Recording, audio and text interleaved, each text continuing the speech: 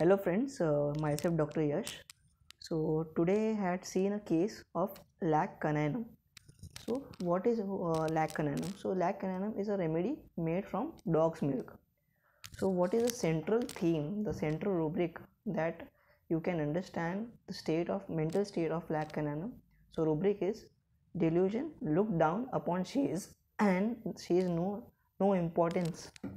So what do you mean by this? यानी कि if in Hindi I tell this the meaning is के घर वाले, सब घर वाले और सब आजू बाजू वाले, मेरा कोई वैल्यू ही नहीं है, मेरे कोई इज़्ज़त ही नहीं है, कोई मेरा बात समझने का एंड मैं उनके जीवन में कोई इम्पोर्टेंस ही नहीं है मेरा।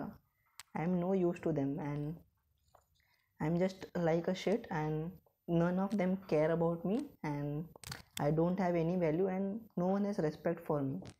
So this is the main thing okay i have no value. So this is very very strong for lac canina and when and along with this mental state the main sphere of action of lac canina is throat. So if a patient has throat complaints and that too a keynote of lac canina is alternating states. So what do you mean by alternating states? For example if right, uh, one day right side is paining other day left side will pain. So this alternating state goes through whole physical sphere.